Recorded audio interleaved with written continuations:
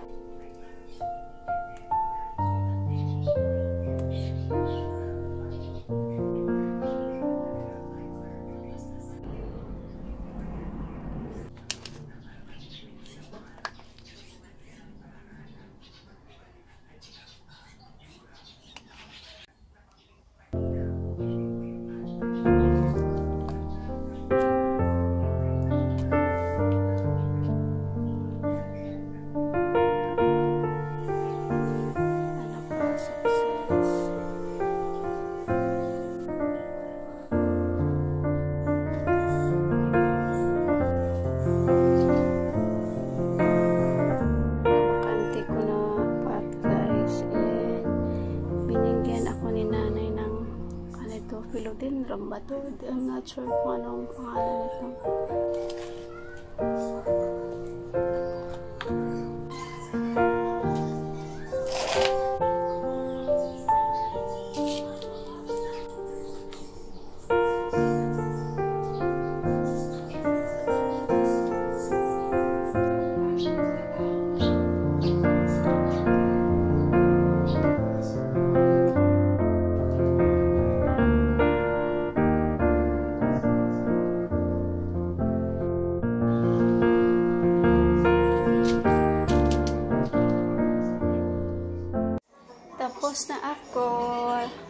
Kulang lang talaga ako ng mga pots. May, ah, kung may time ako, mabili ako ng mga pots sa merkado or dito na malapit sa amin. Kasi wala akong mga pots. Ang ginagamit ko lang is DIY lang yung mga galon empty. First time ko talaga and hopefully sana mabuhay sila at lumag breakfast namin ni Miguel. 10 a.m. ngayon. And Miguel is there. Say hi. And then my bread and jam. Pala ako nitong ano container ng garlic, ng mga slice ng garlic at onion. Lazada ko siya nabili. Tapos, yung yung dahon ng tinanim ko na onion, guys, ito siya. So, ikakat ko siya and ilagay ko sa ref para hindi siya malalta. Ikakat ko na siya para para ma-preserve.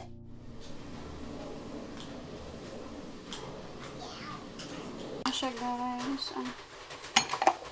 Vacuum siya. Thank you for helping mama.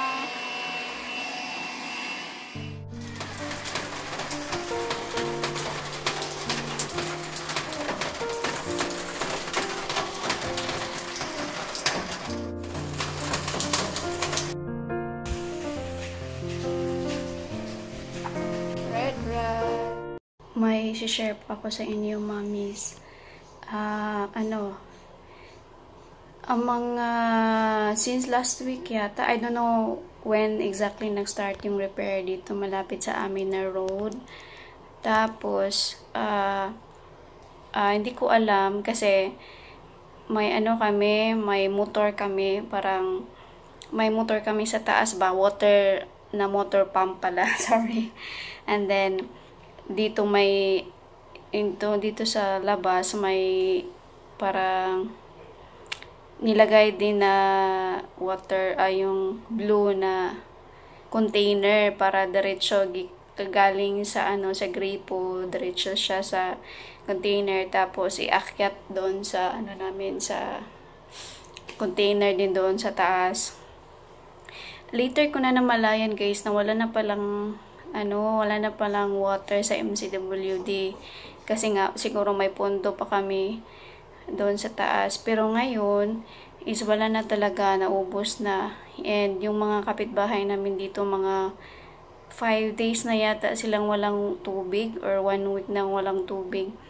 Kaya kanina yung mga dalawang kapitbahay namin is nag ano sila nag-unigay o nagkikisoyo na mag-igib muna dito sa dito sa ano namin sa puso kasi may aside sa MC may puso kami siguro sa mga nakakita sa previous vlog ko yan nakakatulong talaga pag may puso sa labas kasi mawalan man ng tubig ang MC, meron pa ding sa labas.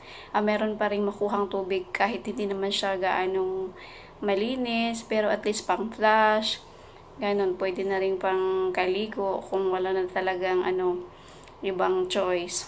So, yun guys. Yan, mami, share ko lang. And ngayon is, dumating na yung mga bill namin sa electricity at saka sa tubig. So, uh, since hindi ako masyadong nakakalabas, guys, ang ginagamit ko pagbayad is GCash.